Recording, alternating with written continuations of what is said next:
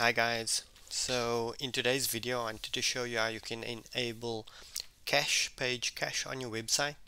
This is so that we can improve the speed of our website. I've been having an issue with a, new website that I've built and if we go to our dashboard and we click on site screen health you can see that it's taking long again that's why I'm getting that error it will show me that I have some some issues regarding my site speed and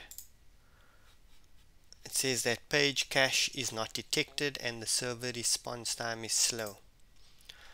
So it says this is a critical issue and that I need to install page cache so that our website can load faster so what this will do is it will basically store a copy of our website in WordPress so that whenever anybody uh, goes to our website, our website can load much faster instead of going to the ISP every time uh, to, to load the website.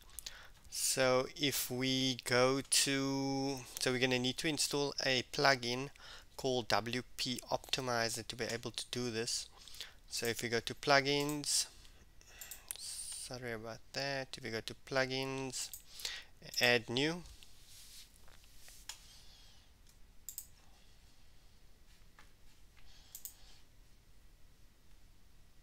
And that's the issue I've been having all day. Um, you come over here can search for WP optimizer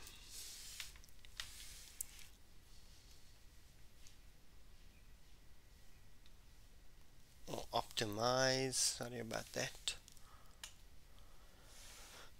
And we can just go ahead and click install now.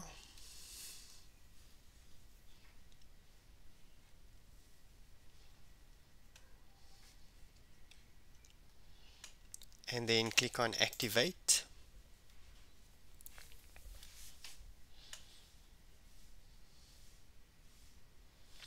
and that will install WP Optimize. Uh, then we'll go on the left over here and we'll just click on WP Optimize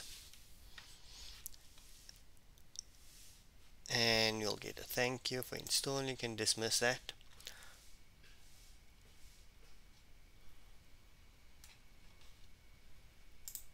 So all we need to do is to enable it we need to go to cache and we need to select enable page cache caching. And that's all that we need to do. We can save that with the default settings.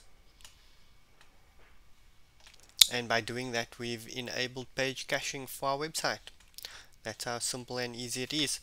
Um, if you guys like the video please give it a thumbs up or consider subscribing to the channel. Thank you